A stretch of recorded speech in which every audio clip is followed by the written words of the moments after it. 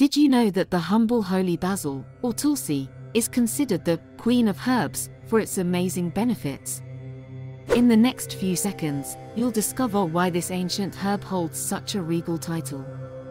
Renowned for its powerful adaptogenic properties, it helps reduce stress and anxiety. It can boost immunity, protecting against infections and illness. Holy basil is rich in antioxidants, fighting free radicals and preventing cell damage. It's also known to support heart health by improving circulation. This incredible herb can aid digestion and promote a healthy gut. Some studies even suggest holy basil can help regulate blood sugar levels.